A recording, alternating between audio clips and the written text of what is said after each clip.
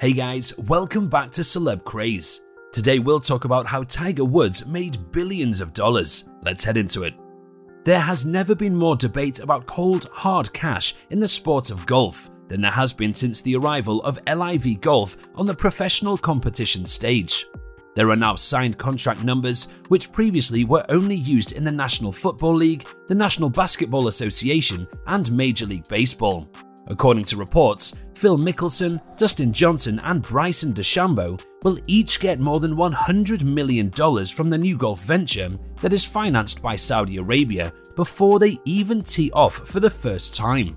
However, there is one player in the game who is the GOAT both on the course and at the bank. As the headline from Friday's issue of Forbes pointed out, he did not need the money from the Saudis to get there.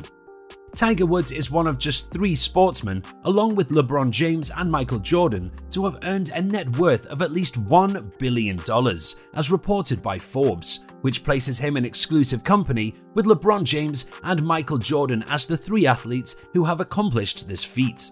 Forbes had previously estimated in April that Woods would have generated more than $1.7 billion in pay, sponsorships, and other money over the course of his 27 year career but net worth is a whole other level of measurement.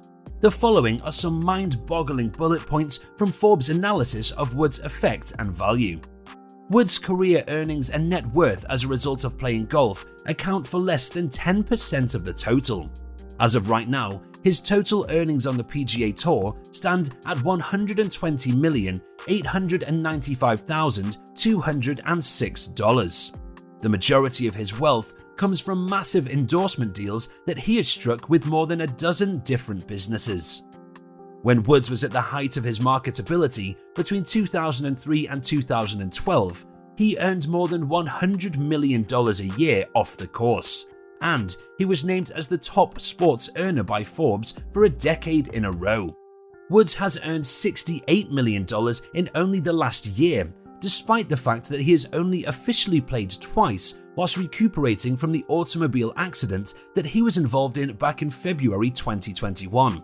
According to Forbes, Woods is a shrewd businessman who has invested in a golf design company, a live events production company, restaurants and resorts, a golf technology training tool, a hospitality software startup, and a luxury mini golf experience that currently has four locations in Florida and plans to open more in the near future. In addition to all of this, Greg Norman, the head of the LIV, said in an interview with the Washington Post that Tiger Woods rejected down an offer that was in the high nine figures for him to join the upstart circuit. Woods has not responded on Norman's remark, but before competing in the PGA Championship held at Southern Hills in May, he made it obvious where he stands in regard to the rivalry between the PGA Tour and the LIV. Woods is quoted as saying, I've been playing out here for a few years throughout the decades, and I believe there's a legacy to the PGA Tour. I continue to believe that the tour has a great deal to offer, a great deal of opportunities.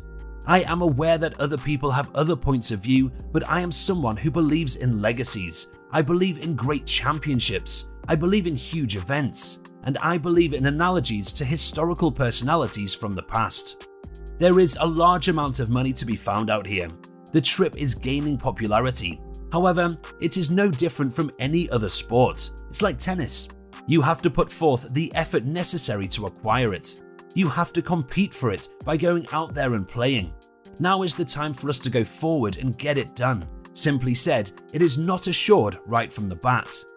Not for most of them, as the stats from Forbes indicate, Woods was never going to be in a position where he needed to be concerned about his subsequent salary. Following the vehicle accident that occurred in February 2021, Woods had surgery to repair the damage in his right leg. However, he made a surprising comeback at the Masters tournament in April. Both at Augusta National and at the PGA Championship held at Southern Hills, when he withdrew after shooting the third worst major round of his career, he was able to make the cut. The American golfer has won the US Open three times, the most recent of which came in 2008 at Torrey Pines, when he triumphed in a playoff despite suffering an injury to his left knee during the tournament. The week before the British Open, Woods said that he still intends to be ready to play in Ireland in the JP McManus Pro Am event. This will take place the week before the British Open. In the years 2000 and 2005, he won the Claret Jug competition held in St Andrews, which is located in Scotland. After having spinal fusion surgery in 2017, Tiger Woods won his most recent major victory at the Masters tournament three years ago. Woods is now ranked 881st in the world, although he previously made a comeback after the procedure to win the title. What do you think about Tiger Woods? Are you a fan? Let us know in the comment section.